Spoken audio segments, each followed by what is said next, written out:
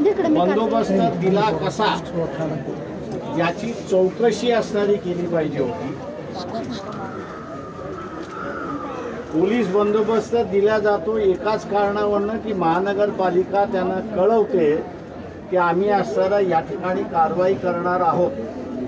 आणि उचित काही होऊ नये म्हणून पोलीस पोलीस बंदोबस्त दिला जातो. परंतु मी जे काही व्हिडिओ बघितलेले आहेत त्या व्हिडिओवरनं पोलीस डिपार्टमेंट हे पूर्णपणे हे यार लाईव्ह आहे.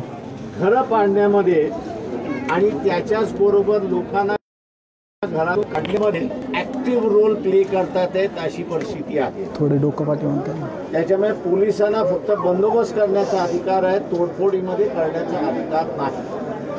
सगळ्यात महत्त्वाचं महाराष्ट्र शासनाचा निर्णय आहे की जुलै अखेरपर्यंत पुणे आणि पिंपरी चिंचवड या भागामध्ये कुठलंही अतिक्रमण पाडायचं नाही. हा स्पेसिफिक निर्णय असताना पुणे महानगरपालिका किंवा कॉर्पोरेशन किंवा कमिशनर त्याचं उल्लंघन कसं करता हा त्याच्यातला भाग आहे. तिथे गृहमंत्री काय करतील याच्याबद्दल मला जरा शंका आहे. न्यूट्रल राहतील का याच्याबद्दल असणारं शंका आहे. पण मुख्यमंत्र्यांकडे त्यांनी जर भेट दिली नाहीतर ईमेलद्वारे त्यांना असणारं ज्या कोणी पोलिसांनी कारवाई केली त्याची चौकशी करण्याचा अधिकार आहे आणि त्यांनी ती चौकशी त्या ठिकाणी करावी.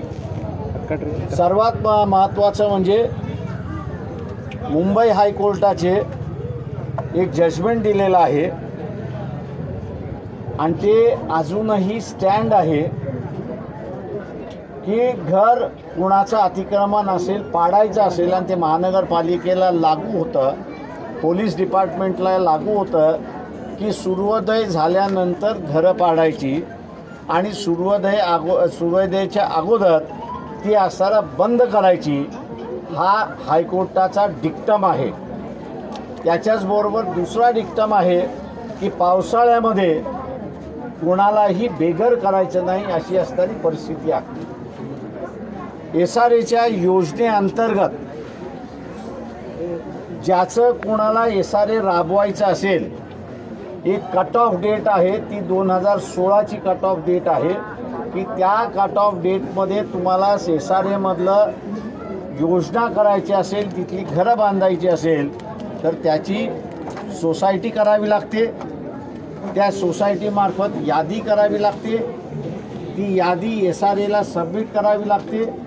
मान्यता मिळते आणि मान्यता मिळाल्यानंतर सोसायटी आणि बिल्डर याच्यामध्ये एग्रीमेंट होतो. त्याच्या अगोदर बिल्डरला हस्तक्षेप करण्याचा कुठलाही अधिकार नाही. या सगळ्या गोष्टींचा असणारा उल्लंघन करण्यात आलेलं आहे. पुणे पोलीस कमिशनरला माझं असणारं आव्हान आहे की त्यांनी कोण कोणाच्या पाठीमागे आहे हे न बघता त्यांनी आठवड्याभराच्या आतमध्ये असताना बिल्डरच्या विरोधातली कारवाई केली नाही. तर कमिशनरचाच रोल हा एक्झामिन करण्यात यावा म्हणून असताना ह्युमन राईट्स कमिशनकडे आम्ही असणारा अर्ज करणार आहोत. आणि कोर्टामधली जी काही कारवाई होईल ती कारवाईला मग असणारं कमिशनरला फेस करावं लागेल. कारण का he will also be made a party to the contempt proceedings चर्चा अशी आहे की अजितदादांच्या आदेशाने ही कारवाई झालेली आहे. ते मला कोणाचा आदेश आहे कोणाचा नाही हे माहीत नाही. जी कायद्याची परिस्थिती आहे लोकांच्या अधिकाराची परिस्थिती आहे मी त्या ठिकाणी मांडली. आता अधिकाऱ्यांना त्या सगळ्या याच्यामध्ये कारवाई करायची असेल आणि स्वतःवरती कारवाई करून घ्यायची असेल तर त्यांचे मोकळे आहेत आणि आम्ही हायकोर्टामध्ये कंटेम पिटिशन दाखल केल्याशिवाय या अधिकाऱ्यांच्या विरोधात राहणार नाही. जेव्हा ही सगळी कारवाई होत होती तेव्हा पुण्याचे आयुक्त हे कोणाचेही फोन उचलत नव्हते. महापौरांनी तर हात सरळ झटकले होते की ह्या कारवाई आम्हाला माहीत सुद्धा नाही. आम्हाला माहिती सुद्धा नाही. प्रशासन कोणाच्या दबा ब- दबावाखाली काम करतंय हे महापौरांना माहिती नाही असं ते सांगतायत. आणि दुसरीकडे ही कारवाई होण्या अगोदर महापालिकेमध्ये या संदर्भामध्ये बैठकही झाली होती. काही झालं असेल माझं म्हणणं असेल की कायद्याच्या वरती कोणी नाही. आणि कायद्याच्या वरती कोणी नसेल तर मग त्यांना सर जर कारवाई करायची नसेल तर त्यांनी कारवाई फेस करावी.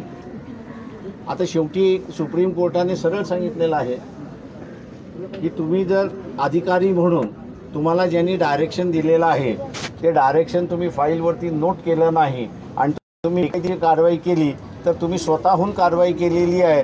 हा असणारा सुप्रीम कोर्टाने दा डायरेक्शनच दिलेलं आहे. खालच्या कोर्टाला की अधिकाऱ्याला राजकारणाच्या पाठीमागे हाईड होऊ देऊ नका. त्याला आम्ही अभय दिलेला आहे.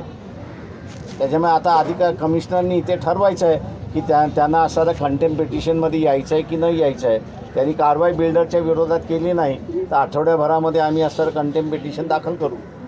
एस आर एचं जे आहे ते प्रत्येक ठिकाणी एस आर एवरती अशा प्रकारचे आरोप होतच आहेत. एस आरबद्दल काय माझं म्हणणं असं आहे की मुंबईमध्ये सुद्धा एस आर ए राबवलं जाते. तिथे कुठे कंप्लेंट्स आहेत? पण तिथे कंप्लेंट एवढंच आहे की डिले चाललेला आहे. त्याच्या पलीकडे नाही. तिथे बेघर झालेल्याची असणारी कंप्लेंट नाही आहे. ती पुण्यामध्ये काय येते थँक्यू